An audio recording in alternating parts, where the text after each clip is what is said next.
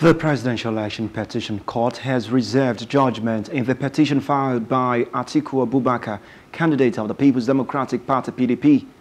To reserve judgment means to hold the matter in abeyance for a while until a date is fixed for the final verdict.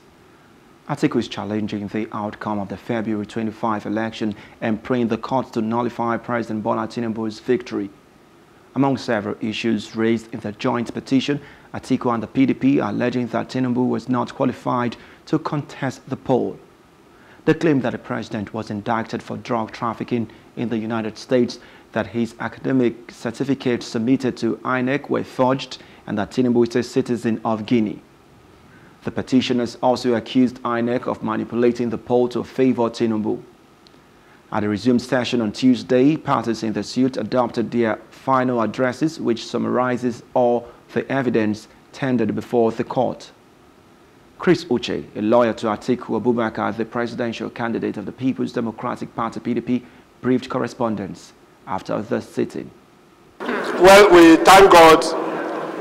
As you can see today, we all adopted our final written addresses which are our final submissions in this case, summarizing all the evidence we tendered before the court.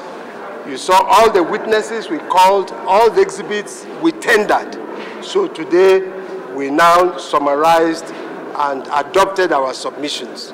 So now the matter has been adjourned for judgment.